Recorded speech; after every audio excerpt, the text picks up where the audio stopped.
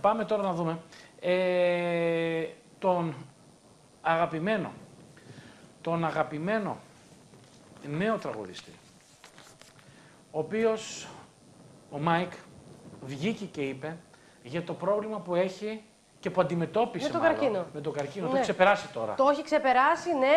Είναι πολύ καλά αυτή τη στιγμή στην υγεία του. Να πούμε ότι είναι και ο σύντροφος της Έλενας Τσαγκρινού, ο Μάικ. Είναι της κοπέλας που εκπροσωπεί την Κύπρο στη Eurovision. Ναι. Α, του στάθηκε πάρα πολύ και η Έλενα σε όλο το πρόβλημα που πέρασε. Ναι. Και ε, μίλησε για το πώς αντιμετώπισε η οικογένειά του όταν τους ανακοίνωσε το γεγονός ότι έχει καρκίνο.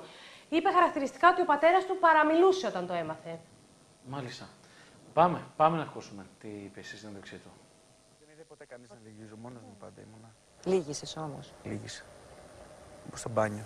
Στο μπάνιο. Συνήθως εκεί κάθομαι που δεν με άκουγε και κανείς. Γιατί αγάπη μου μόνος; Ε, γιατί εντάξει, πιεζόμουν μωρέ και άντε να ξέρεις, λίγο να μου φεύγει, ξέρεις, κανένα ξέσπασμα έτσι.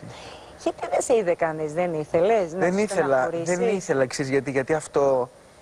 Ασχέτως αν εγώ δεν το είχα πάρει βαριά, οι, οι δικοί μου άνθρωποι το, πέρα- το πήραν πολύ βαριά. Δεν μου το δείξανε ποτέ, αλλά το πήραν πολύ βαριά. Δηλαδή, θυμάμαι τους γονείς μου, ο πατέρας μου, ας πούμε, όταν το έμαθε, που ήταν μαζί μου μέσα στο γιατρό, ο άνθρωπος παραμιλούσε μετά. Και τον έβλεπε προχώραγε και κατέβαινε τις σκάλες και παραμιλούσε ο άνθρωπος. εντάξει. Η μαμά; Η μαμά, επειδή έχει περάσει και εκείνη κάτι παρόμοιο στο στήθος, είναι καλά. Η μάνα μου είναι και σκληρό καρύδι πάρα πολύ. Ο πατέρας μου είναι πιο φοβητσιάρης, να το πω έτσι. Η μάνα μου είναι πολύ σκληρό καρύδι, οπότε σιγοντάριζε πάρα πολύ. Πολύ, πολύ. Δεν, ε, μάλλον μου λέει εντάξει, γάμα, ρε, τι είναι; Για σένα αυτό, τίποτα δεν είναι. Και γενικά τα vibe που έπαιρνα από τους δικούς μου ανθρώπους ήταν τέτοια, οπότε δεν μπορούσα και από μόνος μου να το ρίξω στο δράμα, κατάλαβες. Δηλαδή, μου- όταν μόνο κάποιες στιγμές πιεζόμουν αυτό που σου είπα, Υπά- ότι πραγματικά μα- έχω πάρει πολλά μήνυματα από τότε που το είπα, από παιδιά, που περνάνε εντάξει πολύ πιο χοντρές φάσεις από μένα. Δηλαδή, τα άκουγα και πάθαινα σοκ. Δηλαδή, γνωρίζω, γνωρίζω μέσω του Instagram παιδί που το περνάει αυτό τέσσερα χρόνια. Όχι με την ίδια πάθηση με μένα, σε άλλο σημείο. Αλλά Είναι, είναι δύσκολο. Αλλά ξέρεις τι, εγώ το περνούσα πάντα χαλαρά. Λέω εντάξει, ρε παιδιά, τι είναι, θα περάσει.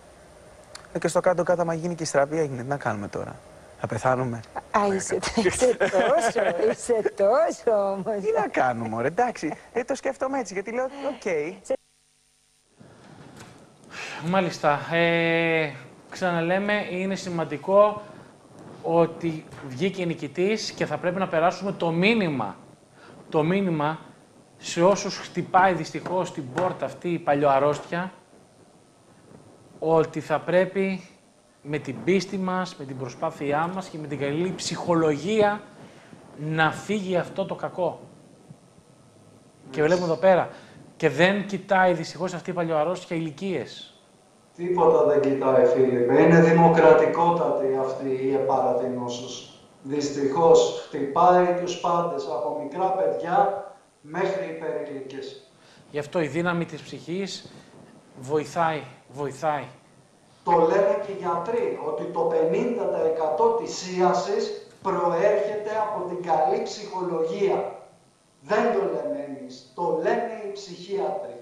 50% της ίασης. Μάλιστα. Άρα παίζει πολύ μεγάλο ρόλο η ψυχολογία, Φίλιππε, όπως σωστά είπες.